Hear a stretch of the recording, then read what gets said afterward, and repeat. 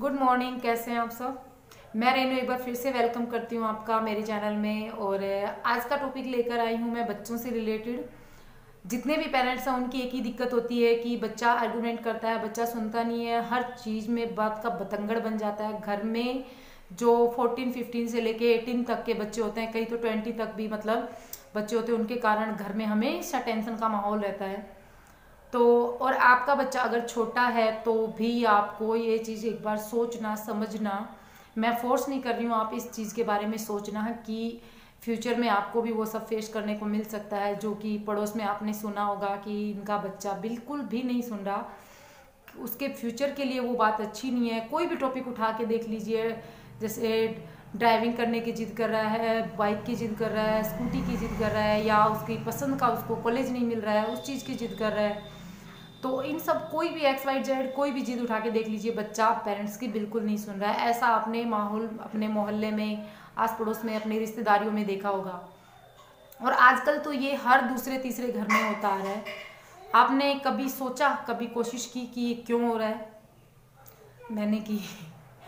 आप एक बात बताइए, एक बच्चा जब तीन, चार, पाँच साल का होता है वो हमारे साथ अपनी हर बात शेयर करता है। वो स्कूल से आता है ना, जैसे बच्चा स्कूल जाना शुरू करता है, तब से लेकर के दस बारह साल का होता है, तब तक वो अपनी हर बात हमारे साथ शेयर करता है। हमारे पीछे पीछे होता है और हम उससे दूर भागने की कोशिश करते हैं, उसको डांटते हैं कि नहीं, अभी नहीं, थोड़ी देर के बाद बताना। हम उसकी बात नहीं सुनते हैं, हम आगे आगे होते हैं उससे।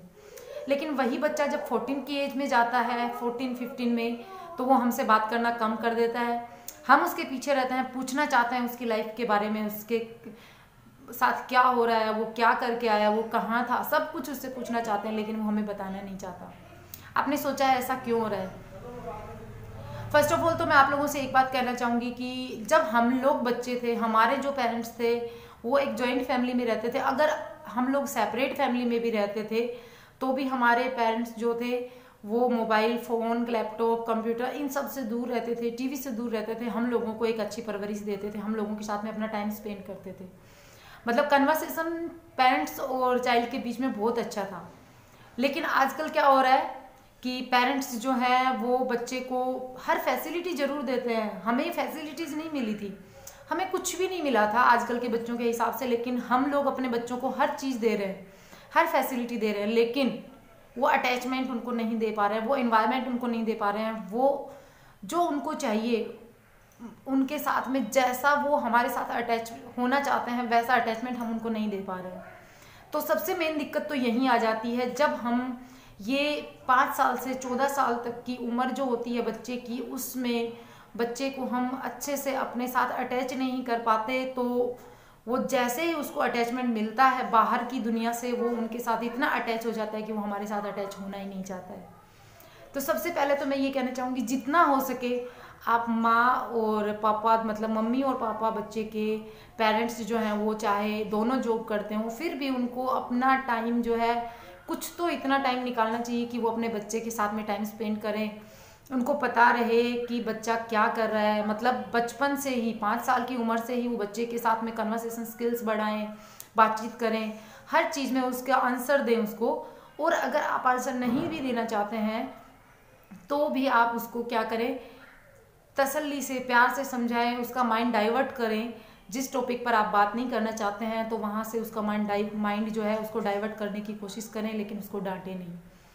सेकंड थिंग क्या आती है कि जैसे ही बच्चा फोर्टीन फिफ्टीन की उम्र में आता है, वो अपने खुद की उसको हम फैसिलिटीज़ इतनी दे चुके होते हैं, उसको इतनी मतलब उसकी हर बात मान चुके होते हैं, उसको इतना प्यार दुलार इतना दे चुके होते हैं, जो उसको एकदम आदि बना देता है। वो प्यार दुलार ममता नहीं होती है, प्यार नहीं होता है, वो उसको फैसिलिटीज़ होती हैं, वो फैसिलिटीज़ देते हैं हम। वो जो चीज़ माँगता है, हम उसको वो प्रोवाइड करवाते हैं। उसको बिल्कुल भी तकलीफ़ नहीं देने देते हैं। ठीक है, और अटैचमेंट नहीं होता है, लेकिन बाकी जो भी फॉर्मेलिटीज होता है, वो हम करते रहते हैं। एक अच्छे हाई फाई स्कूल में डालेंगे, अच्छी फ़ी पे करेंगे, अच्छे कपड़े दिलाएँगे, अच्छे टॉयज़ वगैरह दिलाएँगे अच्छा उसको लाइफस्टाइल देंगे, लेकिन उसको वो प्यार नहीं देंगे। इसलिए वो बच्चा उन सब चीज़ों की आदि बन जाता है और वो फिर वो इन फ्यूचर उन्हीं चीज़ों की डिमांड करता है। और जब वो चीज़ें उसकी रिक्वायरमेंट जो है वो बड़ी हो जाती हैं, जैसे फोर्टीन की एज में ही बच्चा स्कूटी की बाइक की इनकी जिद करने लगता है, अकेले ड्राइव करने की जिद करने लगता है तो वो चीज़ें हम उसकी रिक्वायरमेंट पूरी नहीं करते हैं तो वो फिर हमारे साथ बहस करता है, जिद करता है और फिर उसकी वो नौटंकियाँ स्टार्ट हो जाती हैं। तो सबसे पहले मैं पेरेंट्स से कहना चाहूँगी प्लीज़ आप जब भी आपका बच्चा बचपन से ही आप उसको वही चीज़ दें जिसकी उसको रिक्वायरमेंट हो, जिसकी उसको ज़रूरत हो, ऐसी चीज़ें आप उसको प्रोवाइड ना करवाएँ, जो उसको फैसिलिटीज़ की आदत डाल दें। ठीक है? और सेकंड थिंग अगर आपने ऐसी गलती कर दी है, उसको ऐसी आदत आप डाल चुके हैं, और अभी आपका बच्चा 14 15 की एज में है, आपने आदत डाल दी, अब क्या कर सकते हैं? तो अब आप ये कर सकते हैं कि आप उसके साथ बहस ना करें, वो अभी हार्मोनल चेंजेस से गुजर रहा है। लेकिन आप हार्मोनल चेंजेस से नहीं गुजर रहे हैं। आपको उसको समझना होगा। आप उसके साथ में प्यार से बात करें। उस टाइम पे उसके ऊपर और कुछ नहीं, दबाव नहीं बना सकते। लेकिन उसके साथ में उस टाइम पर, जिस टाइम पे वो जिद कर रहा है, उस टाइम डांट फटकारने की बजाय आप उस टाइम पर बात ना करें। घंटे, दो घंटे, चार घंटे आप बात नहीं करेंगे, उसको आपकी अहमियत का पता चलेगा। वो अपने आप, आपसे आके अपनी जो भी जिद की थी उसने, उसके बारे में वो आपसे डिस्कस करेगा, आपसे बात करेगा, आपकी प्रॉब्लम सोल्व होगी काफ़ी हद तक। और तीसरी चीज़ मैं बताना चाहूँगी कि आप जब भी जब भी आप फ्री हों, आप अपने बात बच्चे के साथ में टाइम स्पेंड करें। उसके साथ में जब फोर्टीन फिफ्टीन में बच्चा होता है, उसकी, उसके फ्रेंड बने। और जितना हो सके उसको ऐसा फील करवाएँ कि आप उसकी किसी भी बात से परेशान नहीं हैं। आपको एक अलग तरीके से उसका सॉल्यूशन ढूंढना है। बच्चे को इन्वॉल्व उसमें नहीं करना है। एकदम प्यार से उसका सॉल्यूशन ढूंढना है, क्योंकि आजकल के बच्चे जो हैं, वो हमारे जैसे नहीं हैं। आपने देखा है कि पहले हम, जब हम स्कूलों में होते थे तो काउंसलर नहीं होते थे। जब हमारा टाइम था, जब हम बच्चे थे, तब स्कूलों में काउंसलर नहीं होते थे। लेकिन अब स्कूलों में काउंसलर होते हैं। तो सोचा आपने ये काउंसलर की ज़रूरत क्यों पड़ी है? क्योंकि पेरेंट्स जो है ना उन्होंने अपना, अपनी ड्यूटी अपना फ़र्ज़ निभाना बंद कर दिया है। उन्होंने अपनी ड्यूटी दूसरे तरीके से निभानी शुरू कर दिया उन्होंने फैसिलिटीज़ देना शुरू कर दिया उन्होंने बच्चों को। और फैसिलिटीज़ को ही पेरेंट्स प्यार समझ रहे हैं। तो प्लीज़ आप भी अगर ऐसा कर रहे हैं तो ये सब चीज़ें ना करें। और अगर मेरा ये वीडियो आपको पसंद आया तो प्लीज़ लाइक प्रेस कर देना। तो जाते जाते अगर नए आए हैं तो सब्सक्राइब भी करके जाना। ये मेरा वीडियो था, यहीं तक। मैं मिलती हूँ आपसे अगले किसी टॉपिक में। तब तक के लिए bye bye take care thanks for watching